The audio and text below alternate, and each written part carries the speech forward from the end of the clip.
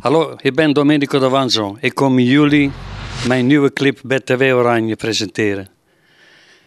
Het is geschreven naar een ware verhalen en dat ongetwijfeld iedereen wel zal aanspreken. En de titel is Heenzaamheid.